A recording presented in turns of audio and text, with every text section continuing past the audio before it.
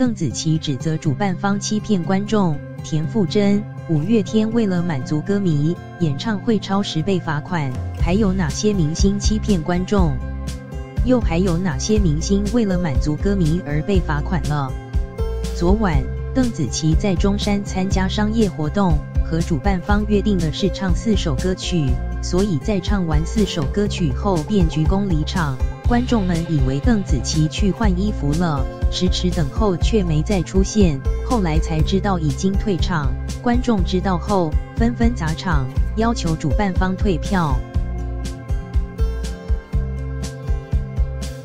原来主办方宣传的时候欺骗了观众，宣传成了邓紫棋演唱会，而实际上和邓紫棋约定的只唱四首歌曲。这确实对于观众，尤其是粉丝，肯定不会买主办方的账。邓紫棋也并不知情，后来在微博上知情后，出来安慰观众，声称自己并不知情。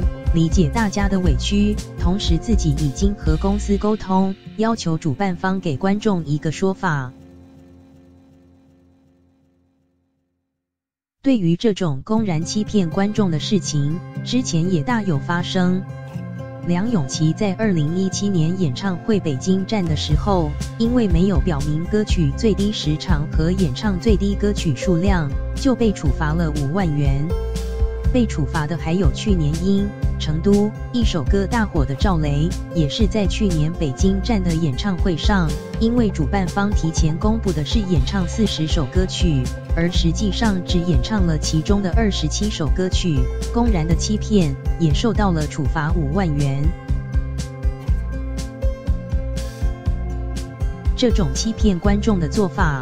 不仅让主办方的名誉扫地，也让歌手的名声受到影响。更重要的是，伤了歌迷的心啊！也有很多歌手为了满足歌迷，宁愿自己罚款，也要继续唱下去。真的是实力爱歌迷。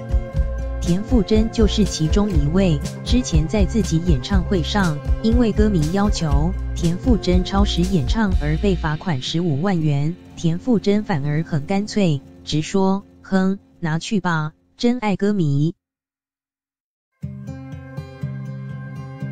五月天早期在演唱会上也是因为歌迷没听够。状态特别好，为了不扫歌迷兴致，满足歌迷，让歌迷朋友继续听下去，自己也是一直唱到歌迷满意为止。后来也被处罚。田馥甄和五月天不仅让小编想到一句话：爱自己的歌迷，让别人去处罚吧。开演唱会和商业活动，主办方都是为了盈利，所以一般不会考虑对明星产生的负面影响。有时就会出现明星背锅的现象，对此你怎么来看呢？欢迎评论。